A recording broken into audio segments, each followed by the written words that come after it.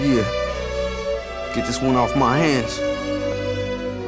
Bless me, Lord, before I pull out my sword and hit my enemies up with nothing but the hardcore. Even the score for the founders that came before and embedded into our brains that you gotta make love with war. Cause war don't love, it just got you thinking burning gloves and the gun in the glove. Fuck it, I'm a thug.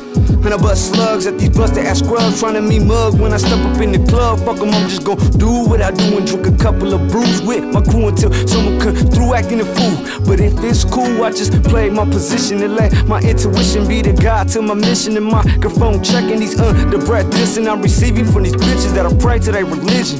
With intention to see me locked up in prison. I know when I've been in and out the system with no major conviction. By keeping my balance so I won't get caught slipping in the kitchen. But I'm still baking up a lyrical ass whipping to get the little homie's attention. Now just listen. You can bring whoever you want to go against me. But like I know and you know you just can't fuck with me. Cause when it's on, it's on after crack of dawn. I'ma drop a napalm bomb. Your recording so long cause you ain't shit. And you know you getting pimped. And I would've fucked your bitch. But oh, beat me to it, man. Follow the footsteps of your uncle before you get crushed and hushed like the sticky icky that I crumble.